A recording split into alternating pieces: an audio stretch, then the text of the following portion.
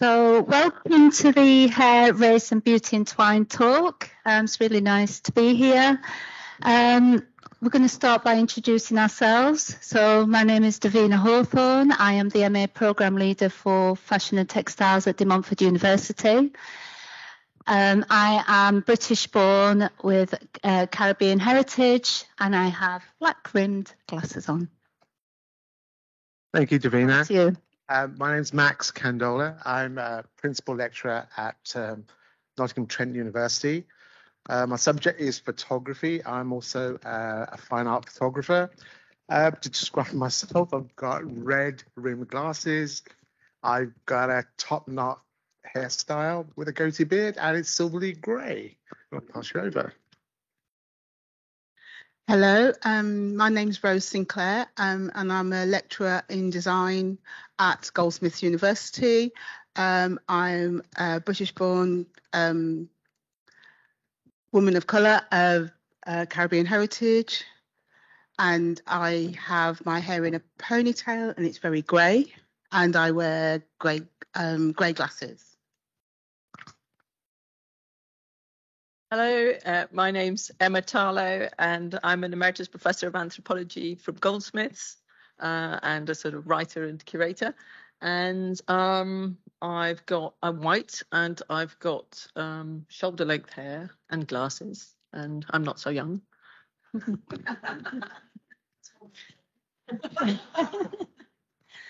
Thank you, everyone. So um, let's start with you, Emma. Um, could you give us an overview of the um, hair? If we, yeah, if we can go on to actually no, we'll we'll, start, we'll continue with this. So um, yeah, if you could um, give us an overview of the Hair Untold Stories exhibition at the Horniman Museum, um, and in particular how hair, race, and beauty is discussed throughout the exhibition. Okay, great. Yeah, if we could nip go a couple of slides on and we'll have the first image. That would be really good. Yeah. So this is an exhibition that I was involved in, in co-curating with the Horniman Museum. So I was the external curator. There was an internal curator, Sarah Byrne, but there was also a huge amount of collaboration and consultation that went into the producing of this exhibition. And some of the people involved in that are Rose Sinclair, who's right next door to me now, and Rambi Marufu, who's, who's sitting at the back of the room, um, who, who contributed very largely to how this exhibition looks, feels, and is. Um, uh, just to give a, a, very brief overview of the exhibition, the idea was to kind of uh, try and create a space for showcasing uh, hair stories with the idea that absolutely everybody has a hair story, that hair in many ways is the most flexible body part we have, so we can do a lot to it. Um, and, and it's an extraordinary fiber that carries these stories that are personal, that are political, that are cultural, that are religious, and that above all are embodied, that are sort of attached part of us, a particular part of us, and they're entangled in fashion and beauty and race in all sorts of ways. So we really wanted to bring uh, those stories into conversation in in this space in quite in an is as a, an, an open a way as we could in a kind of museum space. And you'll see uh, from the drawings uh, here advertising the exhibition, which are drawings by Habiba Nabasubi. She, in fact, joined us uh, on, a, on a, a, community fieldwork project that was run uh, by Rambi, who I mentioned at the back. And, and actually, we saw from that her wonderful drawings, and we invited her to become the main kind of graphic uh, artist throughout the show. So her, uh, her hair and all the different textures of hair that she um, draws are kind of woven in and out um, of the exhibition. Um, and so if we could go to the next slide, yeah. So you can see here also we collaborated, sorry, in the one just before uh, with Infringe, which uh, is, is a sort of hair magazine and website who did a series of photographs called Cult Hair, where they're interviewing people on the street. And the sort of idea is it's extraordinary hair of ordinary people, whatever that phrase means. And um, and and people are commenting about their hair as well as having their hair um, portrayed in those portraits. And then we go in through the door past uh, Habiba's drawing into the hair exhibition, which was actually in the basement. And, and Christina talked yesterday about the particular intimacy of basement spaces in a way, not having windows. It was almost like going into a sort of cave of hair somehow. Uh, so if we could pop inside. We're doing a really, really brief talk. So there was a lot of things. Yeah. So the, the first thing we did was actually to explore hair as a material off the head rather than on the head. So to try to think about hair as a fiber with very particular qualities. And we kind of, in a sense, had this slightly sort of shocking blonde hair dress, which is sort of a, uh, by Jenny Dutton, who's an artist, which is sort of about the fetishization of blonde hair. Uh, it's it's very visceral. People sort of want to touch it or squirm away from it. And it's sort of also about sort of certain types of idealized femininity. So we're confronting hair in that way, but we're also confronting in that space hair. On the one hand, hair that's precious and kept, which is something that Max will be talking about later. Uh, we, we look at things like jewelry, uh, you know, made from loved people's hair. But at the same time, we're also looking at hair completely decontextualized and used, collected from oil, uh, collected from um, salons for uh, collecting up oil spills. And you can see, in fact, that image, uh, that first image on the left is in Mauritius, where waste hair from the salons is being used uh, to, to, to clean the water after an oil spill. So we're kind of exploring in that section the potential of hair as a fiber through all sorts of different objects, which makes us think about hair perhaps in a different way. But we then move into the next section, which um, and these sections in a sense flow into each other. The next section which is about um, we, we called it hair care and it was really about looking at salons and shops as sort of spaces of of belonging of self-making and of becoming and in this space, and this is a space we also, you know, Rose will talk more about the sort of collaborative conversations that went on uh, in relation to the creation of these spaces. But in this particular case, we had invited um, the curator, uh, Korantama Anyamadu, to do what she wanted in that space. And what she did was she created a hair shop of the sort of hair shop that you might find in many London streets. And she interviewed people, and we had the voices of different people who for whom that hair shop is a meaningful space and you could pick up headphones and listen to those voices. And some of those voices tell nostalgic stories about wearing baubles and going to church you know on a sunday morning. Others talk about the need for more black owned businesses. Others talk about sort of pride discrimination around hair. So these different voices in a sense uh, coming out of the out of the hair shop.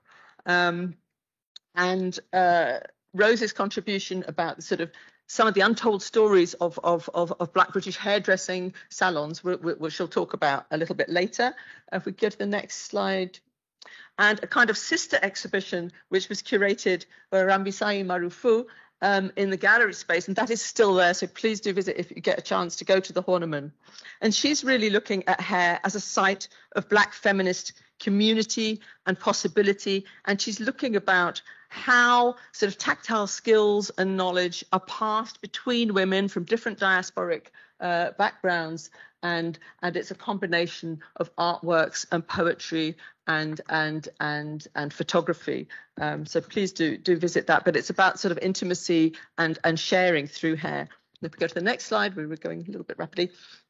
And also thinking about salons we had um, uh, borrowed or loaned from the uh, Migration Museum uh, an installation called Room to Breathe, which is really like a, sets up a barbershop chair, and you sit in the chair, put on the headphones, and a film plays, and it's barbers talking to people who come to the barbershop and they're from all sorts of different backgrounds and you see the barbershop as a space of sharing of caring of of also making up what is multicultural London uh, in, in, interesting ways. And we also had the open barbers sorry there which was also about um, trying to escape you know certain normative expectations about gender and beauty by looking at non-binary possibilities of hairstyles and and a lookbook that is is is showcasing you know a very different kind of lookbook to the very kind of feminized glamorized kind of lookbooks that you very often find uh, in hair salons. Um, if we could nip next one and then we move into entanglements, although in a way the whole exhibition is about entanglements.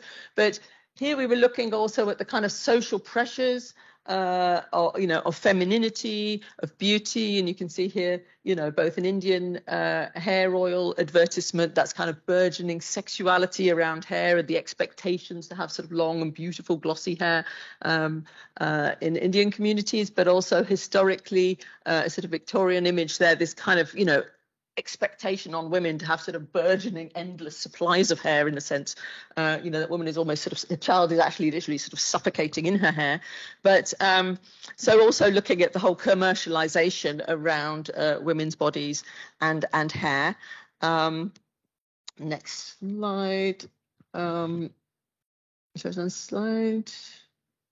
Yeah, so some these are some of the contributions that were made by people who contributed in the community fieldwork project.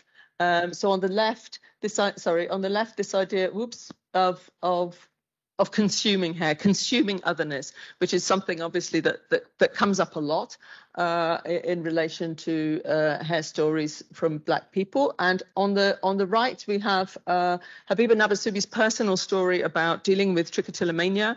Uh, which is a condition where you, you you pull out your own hair, so it's a, a certain form of alopecia, and and the, and the sort of stresses of lockdown and how she tells her personal story of how she sort of got through that that uh, during lockdown. And if we move on, um, yeah, so um, we were also really pleased to be able to showcase the incredible work that's being done by the Halo Collective, who have made a code which uh, they try to get schools and businesses to sign up to, not to discriminate against Afro hair. They also highlight the incredible amount of discrimination that still continues today against uh, uh, uh Afro textured hair that isn't worn in particular uh, coded ways. So, so they are doing very important active work. And, and this theme of discrimination also comes up very much in, in Julian Knox's film, Roots for a Crown, where he looks at how locks are discriminated against but he also explores the incredible architectural possibilities of hair and and and how important hair is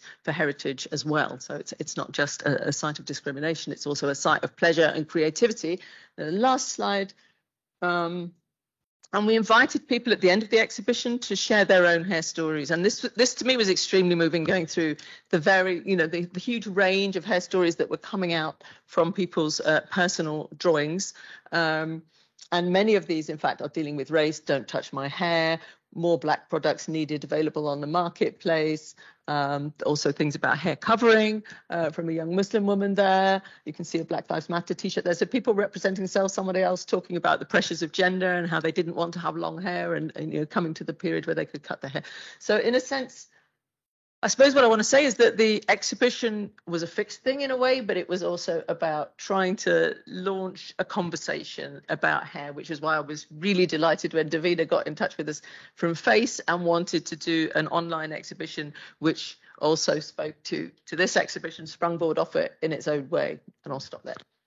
Thank you. Thank you so much, Emma, for that fabulous um, overview. And as you can see, there's quite a lot there, um, yeah, packed into that exhibition. And if you haven't been online already, do have a look on the um, the online hair exhibition um, website because there's lots of really great resources on there.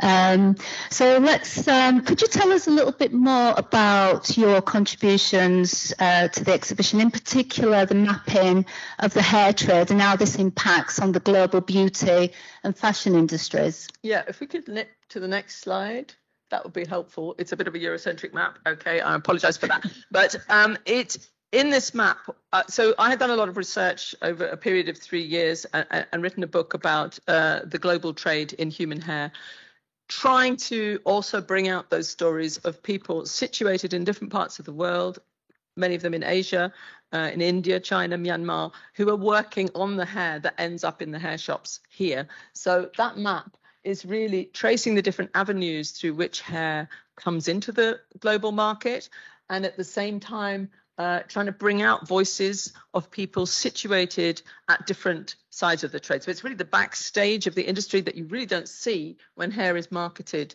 here. And if we could nip to the next uh, slide, which is just to follow just one of the trajectories. So one of the trajectories I follow in that map is the trajectories of combings. Now, many people with long hair in, in a number of different Asian countries will it will actually save the hair when they brush it or wash it. And, and so like all of us who've got long hair, they'll end up with a, quite a lot of sort of tangled hair waste, and they keep that and they sell it. And people go around collecting it door to door. Other people are sitting in workshops untangling that hair, uh, and it goes through all sorts of processes, taking out the lice, taking out the white hairs, and you can see all those processes happening there. So this is a kind of hidden labour behind the beauty industry that we see very little about.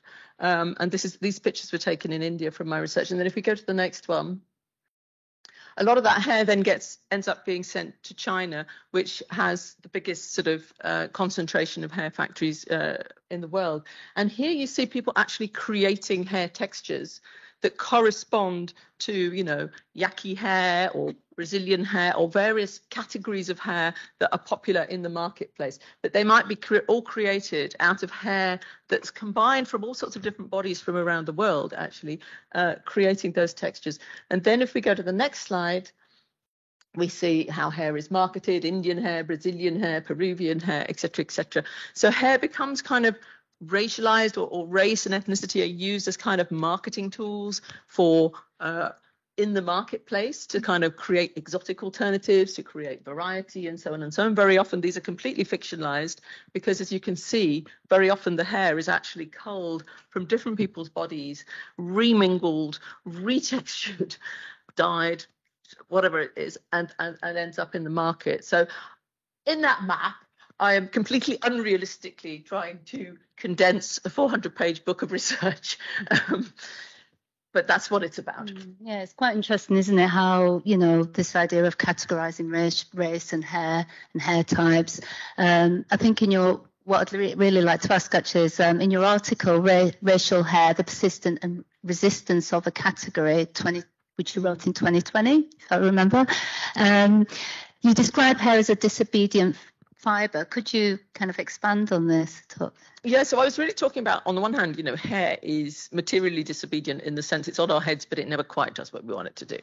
Uh, and even when it's off people's heads, you know, the people who are working in those factories in China and places will say you can't ever standardize hair. You know, you put what looks like the same hair in a vat and it doesn't do the same things. So at some level, it's kind of materially disobedient, but at some other level, it's also conceptually disobedient because people and and you know, and I trace the kind of histories of sort of scientific race and racism and the tr- attempts to sort of categorize people into racial categories through hair and how actually these categories always fell apart. The hair always escaped the categories. And then I also look at how those categories, in a sense, become reworked in the fashion industry when when when people are trying to kind of market hair through racial categories. So somehow, you know, hair and race are kind of entangled, but not in a clear cut and easy way, you know, in a very complicated way that changes over time, that changes in the context of of, of, of marketing, that changes in the context of, of people's lives. So that's mm, interesting. Briefly. Thank you. Thank you, Emma. Um, yeah, so what that leads me on to Rose actually. Um, Rose, could you tell us a little bit about your contributions to to the Horniman exhibition? Well, I had um, I would say three roles. So one was as a community field worker, um, and that was working with a group of um, 10 other field workers in trying to establish what our stories were about hair. So um, what my story was working with my sister over lockdown. And so my sister lived in Birmingham and I was in London, and we were exchanging stories about how we could get black hair products. And where I lived in London, there are all the we I would go into a supermarket or a chemist and they would have you could get shampoo but you couldn't actually get black hair products so they weren't on the essential shopping list so I couldn't actually get shampoo to wash my hair it's ridiculous isn't it? all the all the, yeah. the, the the stores that sold um, mm. shampoo for my hair they were all shut but they had a back door so you had to do the kind of knock on the back door to go and buy your shampoo to wash your hair. But all the supermarkets and all the chemists that sold our hair had the tape that said non-essential products, so you couldn't actually buy shampoo. So as a community field worker, my story ended up in the in the um, in the show with me and my sister exchanging our mobile text messages about how you could get hair. So in the end, she posted me shampoo from Birmingham during lockdown so I could wash my hair.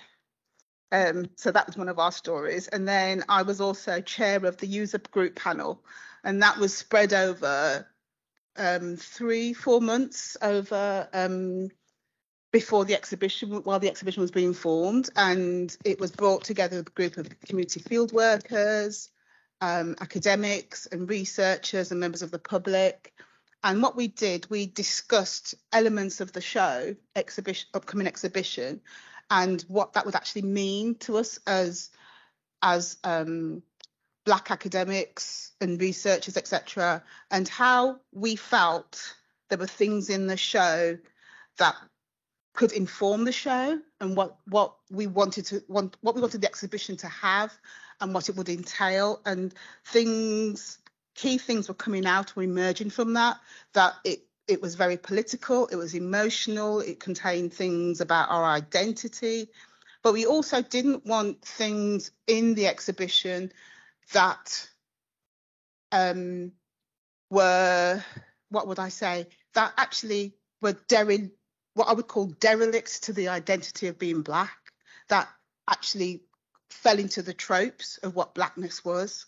Um, and we felt that there were things that always fell into different areas of what it meant to that could criminalize or identify us as being criminals or identified as being poor or, or just fell into the tropes that were always in the newspapers or in the press. We wanted to see positive imagery as related to what it meant to be black or what it meant to be about our hair, but also to tell those histories of where did our hair products come from? Where did our hairdressing salons come from? Where did the entrepreneurship around hair come from?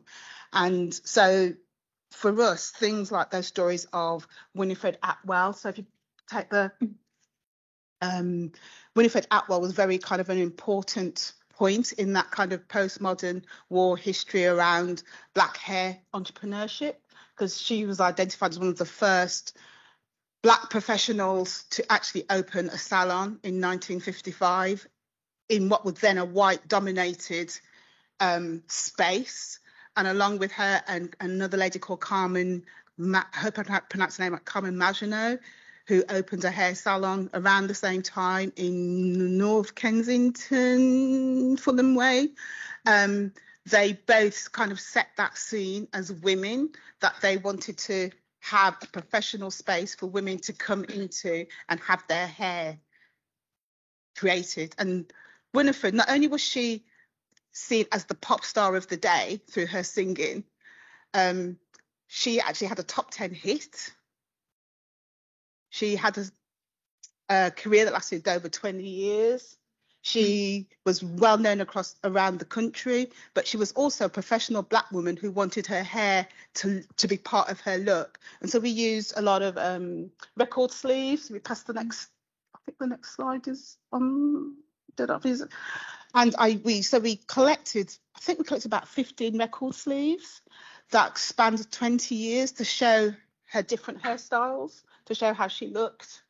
And this was very important to us to, to showcase how she took a pride in her look, but also she had a degree in chemistry and she used that degree in chemistry to actually create these new hair products for her salon. Multi-talented. um, yeah. So not only was, was she a, a fantastic um, eminent musician, but she also used this other background to actually create these new hair products for her salon. Um, um, and so that for us was talking about this notion of entrepreneurship and she led the way for other entrepreneurs in the future. So in the show we talk about the next set of entrepreneurs like the dykes and drydens and then the how then this spread out into women in the 1970s in birmingham setting up the next set of black hair salons. So we talk about this notion of legacy and then the um so the notion of the and then this led me into the curatorial part. So the three parts I had was chair of the, the community field worker, the chair of the user group panel, which then fed into the actual exhibition, and then as the curatorial part with the two stories. One is the Winifred Atwell, and then if we take it onto the next slide, uh, keep going. The next bit was to then talk about my own personal story with um, my mum, who was a um, NHS worker. Um, but what she used to do every um, with her natural hair, she she worked. She she was a nurse, but she couldn't always get her hair done in time because she worked shift work. So what she did, she would um, she had five wigs, and our job was to wash the wigs, wash them, put them on a little stand, and then put the curlers in and dry them. So mum, when she got home, she would then get her have it when she got home or when she was ready to go to work for for a night shift. She just put the wig on. But when she wasn't at home and we put the record player on, we would just jig along to whatever the the latest Diana Ross was or whatever on the radio and pretend that we were the Supremes. So that was our kind of wearing the wigs because that was our that was our playtime. But I always remember mom would want to go out looking in her nurse's uniform because you had to wear your nurse's uniform to go to work. And mom would never go out just not looking the prim and proper nurse because she knew what she had to face when she went to work with some of the things that were said to her. But she will always wanted to look prim and proper. So this notion of how we tell our personal narratives through an exhibition space was really important um, part of that that Yeah. that wider notion. And I think one of the things that we identified in this in this exhibition was this notion of not only the the global story, the national story, but also the local stories. And that that came through, I think, from the, the various community workers that there had to be a local narrative because the Horniman is based in Lewisham, which is one of the poorest boroughs in London, but also it's one of the most diverse boroughs in London with the, with its demographics. And we wanted to showcase how the demographics within the area could also be illustrated. Great, thank you. Thank Thank for you, that. Rose. also sort of interviewed all the hairdressers in that local area, Yeah. and they were all represented with with some comment from them about the you know what they felt about their role as a hairdresser, which was also part of that local Yeah. story. Yeah, great. And I was on the panel discussion. It's really great to to be involved in that. And I think at the same time, um, as I was in the panel discussions, I was uh, became a face member. Um, and it was just naturally that those things came together as, you know, being involved in the, the Horniman um, exhibition discussions previous and then obviously um, working with Face. So I think what came personally, what came out of those discussions were, um, you know, the global majority needed a, a voice, you know, in terms of um, a platform, um, because obviously those stories are, are so wide and, um, you know. Um, so yeah, and obviously we were in touch, and the Face Horniman Untold Stories online exhibition was born. Um, and we, you know, were lucky to have, um, you know, um, Sharon, Jacob, Benita, who's in the audience, um, Michelle and Sarah and, and Emma to to contribute to that. If you could just go to the next slide. Um, yeah, go to the next. Thank you. So just to give you a bit of context of this exhibition, and please do all visit. There's some great um, contributions there. Um, and the exhibition is housed indefinitely on the Horniman uh, website. Um, and it's kind of in two parts. So the one part is the academic space, and then the other space is the student space. Um, and I think why we did that, why it, you know, why it's kind of in those two parts is that kind of conversation that happens between academic and students. Um, you know, and the, the, the kind of co-creation, co-learning in terms of, you know, those conversations, those exchanges. Often we think academics are the be all and end all of the conversation. No, we're learning just as much as you know, um, from the student and vice versa. Um, so, and it was just an opportunity as well, also for students to contribute and be involved in a live project with the Horniman. I think, you know, it's it, it it's great that that students had that opportunity and have the opportunity to showcase. Um, so the academic space is coming from uh, FACE members and the student contributions are nationwide. Um, as FACE um, members are nationwide, we're, we're from all over the country. Just go to the next slide. So um, I think we had, we put a FACE comp- competition out to different students um, from different specialisms. So it covered textiles, fashion, fashion communication, um, textiles. Um, so we've got quite a broad range of um, projects, um, you know, so from illustration to Levi's um, design um, around don't don't touch my hair and so forth.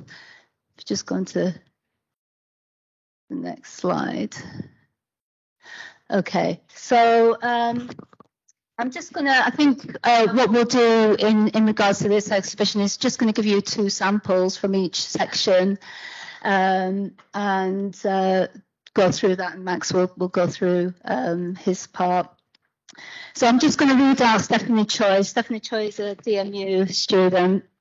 Um, and I'm going to read out her, her contribution. As British born Chinese descendants, we are taught to treasure our, our black hair. I've always questioned this mindset. Why must it be black hair? Why not colour it? Why can't I express myself? Why not colour it? Why can't why can't I express myself? Growing up in Britain, being surrounded by pop culture, I saw how powerful it was to express my own individual style and personality. I found that hair was one of the most powerful tools to do this. My Chinese family and friends disagreed with the idea, so I dyed my hair the brightest colour that I could that I could think of, sorry, which was the reddish pink. It was a way for me to break tradition, be inspired, uh, inspired by inspired by traditional Han Dynasty hairstyles. I created my own contemporary version. So here, um, um, I know Stephanie was really um, interested and really passionate about her illustration work. Um, and she's collaborated with a photographer and um, photographer and, and, and kind of created this kind of illustration, breaking boundaries. And I think, you know, it was really nice to have those kind of personal conversations with Stephanie um, in regards to developing this project. If you just go on to the next one.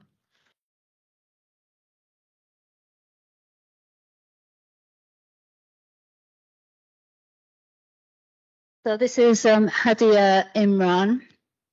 So hair is the most important aspect of beauty in South Asia, which is why growing up, um, my mother, our grandmother, would spend hours massaging oil into my hair.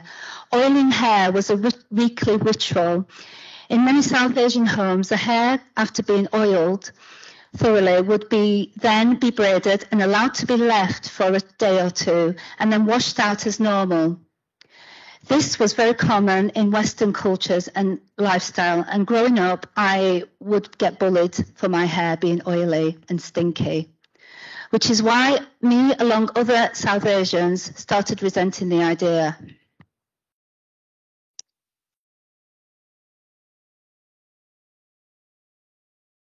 Idea of um, to finally be able to embrace my culture and traditions. I slightly oiled the hair to give it that greasy look and braided it further, adding a paranda underneath. Paranda is a colourful Punjabi um, traditional hair extension accessory. As someone from Punjabi um, descent, I wanted to be this be this to be part of my work alongside the traditional jewellery and kurta um, shirt.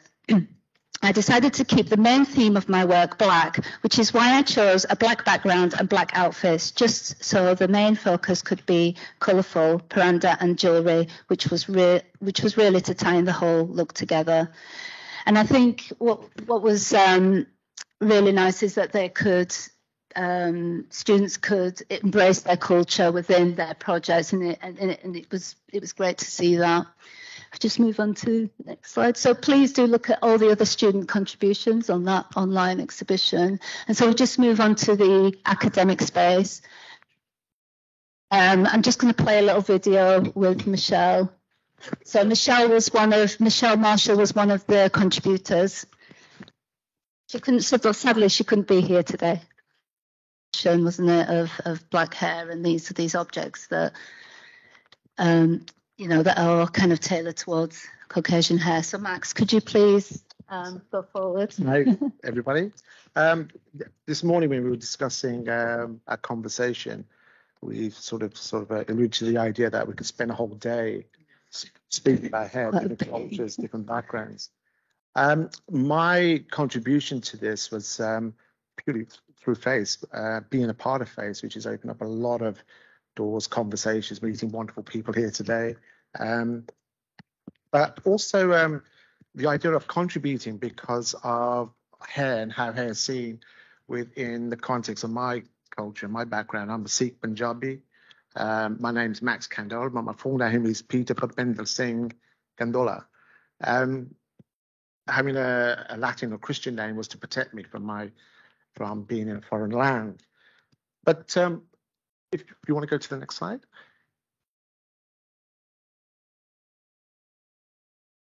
Um, what I've done here is um, looked. I'm looking at hair purely from, I would say, a male perspective. Um, also, a male perspective in terms of me aging, hence the white hair, silver hair rather, and um, also a generational thing from um, where I am to the photographs I've made. At, uh, the one on the far right on my um, son and the middle hair my father. I'm also very conscious about how we, I, uh, the male, uh, is it, it, the well-being of the male, the aging well-being of the male, and uh, I've used this title called the craft of life in terms of um, observations of how one grooms oneself. And this is the conversations today. And Davina, you alluded to uh, one of the students uh, handing work where the hair is uh, oiled and um, combed through. And I remember sitting and watching my mother comb her hair my sister and spending over half an hour, 45 minutes. Self grooming, isn't it? You know, they're, they're taking the time and. Yeah, absolutely.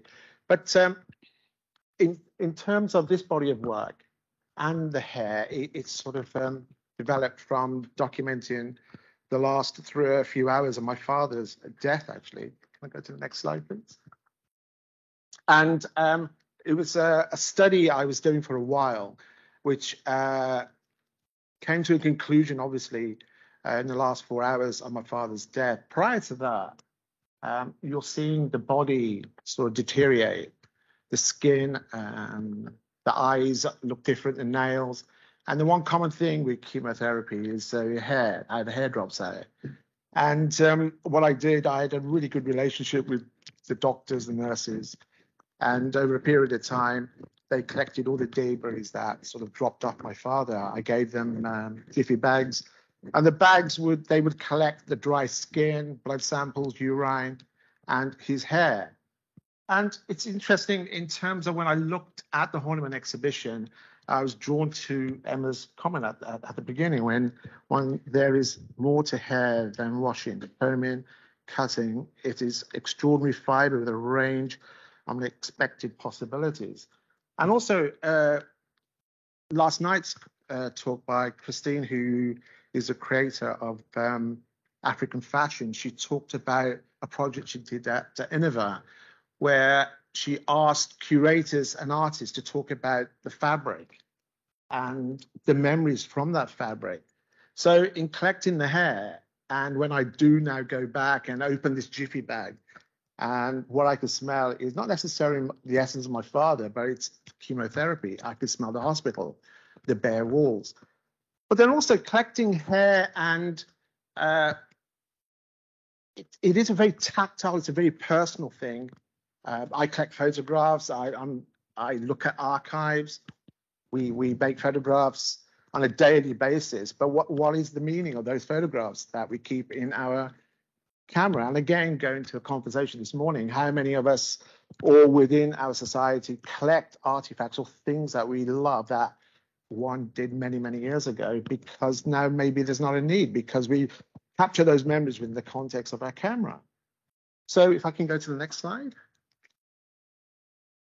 So in that process of my father's there, I then um, wanted to um, document and keep the very first haircut of my son. And that's very, very important because again, it's am I already looking at the inevitable, the end of life, where my son's life is just beginning. He's 12 now, but that haircut was I uh, I've got the date there, March 2011. I think just turned one. And um, so the conversation about hair and what it does, it, it, it's very personal. And also coming from a Sikh background, uh, you can see my top knot. I'm not a practicing Sikh. My, my top knot is purely aesthetic in terms of how I want to keep my hair. But it's something very precious within the context of Sikhism. Part of the five Ks is not to cut your hair, it's a part of your identity. But then also, in terms of the conversations we've had this morning and possibly this afternoon, it's about education in terms of confronting these things about death, dying, birth, celebration. I sit down and go through Illustration of Life, which uh, was published uh, by Dowlus pu- uh, Publishing regarding the death of my father. I go through the work with my son. I think it's very important to do that. And also, it, it is a type of trauma uh, in terms of reflecting on one's life. I did the same. I'm looking at, I think it was eight minutes, 45 seconds, looking at um, George Floyd with my son. And that was very, very important. But I'm drawing that into the context of how one is with personal belongings. So is hair personal? Of course, it's very personal. There's nothing else that one wants to collect in terms of a possession. I don't think a photograph now. Really question the value of photography and the and, and its its its rationale, its reasoning. So is hair the most important thing that I can carry that belongs to a loved one, or is it a nail or um, I can't think of any of the body parts that I want to keep. So in that sort of sense, um, I'm continuing with the hair project, and I think what the Horniman's done is opened up a different vocabulary in terms of the exhibition, and also working with space, working with within the fashion, primarily a fashion context. I know Andrew alluded to the fact that we've got a photographer and a filmmaker, and uh, and Michelle, photographer, mm. part of that and also questioning the idea of what is fashion is very, very important.